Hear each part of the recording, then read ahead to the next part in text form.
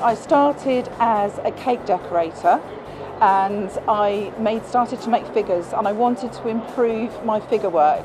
So it was a journey that I went on and I wanted to improve and improve. So I, I started to build little armatures and this meant because what I was finding was people I would make figures and people wouldn't eat them, they wanted to keep them. I was invited to the cake show and um, by Cake Craft India, people that have organised it because I won Best in Show in the UK in Cake International and, my, and because I'm known for my figure work. I got very carried away with the Indian influence and I ended up having to on the last afternoon make a Western style lady because everything was Indian, Indian influence because I'm so taken with the whole Indian culture. Colours, everything, everything, everything and how everything is so mixed together where you have people who have nothing and then a shop, a little shack that's made of tarpaulins. I love that. I love that's resourceful. That's someone trying to get somewhere in their life.